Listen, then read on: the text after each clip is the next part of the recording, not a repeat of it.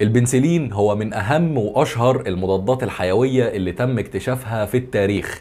إن ما كانش هو فعلا أهم وأشهر مضاد حيوي من المضادات الحيوية اللي موجودة في العالم اللي بتستخدم في علاج أمراض كتير جدا.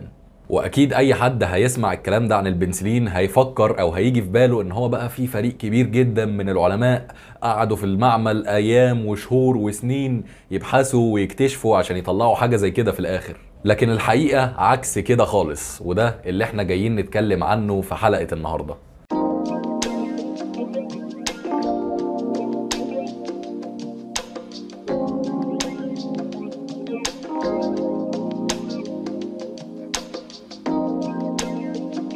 في البداية خليني أقول لك إن المضاد الحيوي بصورة عامة كده بيستخدم لعلاج الأمراض البكتيرية، لكن ما ينفعش نستخدمه في علاج الأمراض الفيروسية.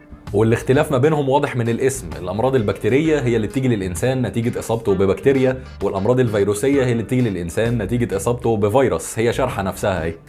يعني مثلا مرض زي مرض الالتهاب الرئوي ده يتعالج بمضاد حيوي عادي لكن مثلا فيروس زي فيروس كورونا فلا ده ما ينفعش نعالجه بمضاد حيوي. وعشان نقفل الكلام في النقطة دي دلوقتي فخليني أقول لك لو أنت مش فاهم قوي إيه الفرق أصلا بين الفيروس والبكتيريا فأنا كنت عملت فيديو قبل كده عن النقطة دي بالتحديد. الفرق بين الفيروس والبكتيريا هيظهر لك دلوقتي فوق على الشاشة على اليمين أو على الشمال على حسب الدنيا عندك يعني.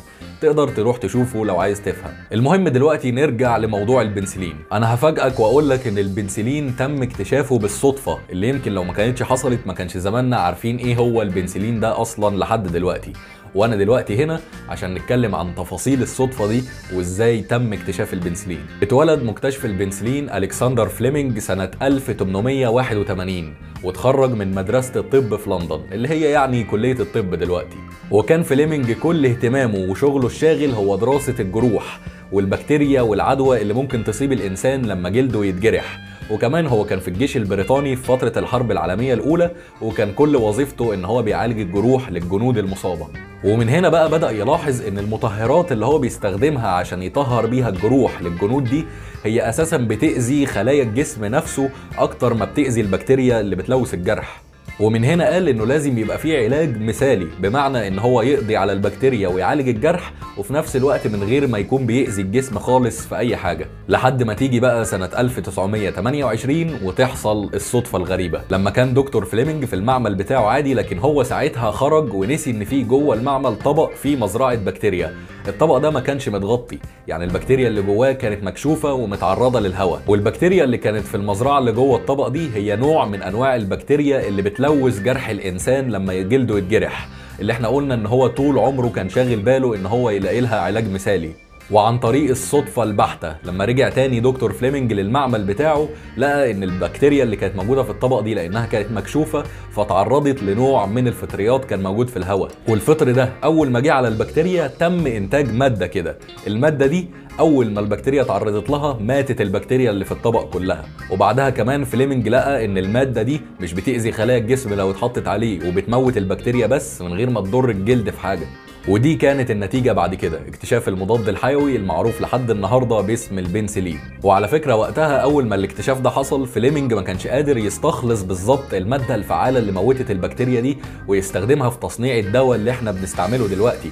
لكن هو برضه كان كده كده عارف إن هو وصل لاكتشاف مهم جدا في عالم الطب. وفضل العلاج ده لأكتر من عشر سنين كاملة محدش قادر يستغله ولا يستفيد منه. لحد ما في سنة 1941 قدر هوارد فلوري وإرنست تشاين إن هم يستعملوا المضاد الحيوي ده لأول مرة ويعالجوا بيه شخص كان دمه ملوث ببكتيريا. وبعدين بقى حضروا المضاد الحيوي الجديد ده على الضيق كده في فترة الحرب العالمية التانية عشان يستخدموه في علاج العساكر المصابة بجروح في الحرب. وفي سنة 1945 فاز الثلاثة فلوري وتشاين وفليمنج بجائزة نوبل في الطب بسبب اكتشاف البنسلين. وبعد كده بدأ استخدام العلاج الجديد ده في العالم كله أكتر وأكتر وبقى بيتصنع بكميات تكفي كل الناس مش بس العساكر المصابة في الحرب عشان يبقى ليه دور مهم جدا في حياة البشرية. وكده يكون كل كلامنا عن الصدفة الغريبة دي بتاعت ألكسندر فليمنج اللي خلته يقدر يكتشف البنسلين خلص خلاص. ودلوقتي أنا خلصت كل اللي أنا كنت عايز أقوله في الفيديو بتاع النهاردة. يا ريت لو الفيديو بقى عجبك ما تنساش تقول لي ده من خلال إن أنت تدوس لايك وتنزل تشترك في القناة من تحت الفيديو لو ما كنتش مشترك قبل كده. ولو كنت أول مرة تشوفني يبقى خش كده خد لك لفة في الفيديوهات اللي موجودة على القناة وإن شاء الله هتعجبك. وبس كده. سلام.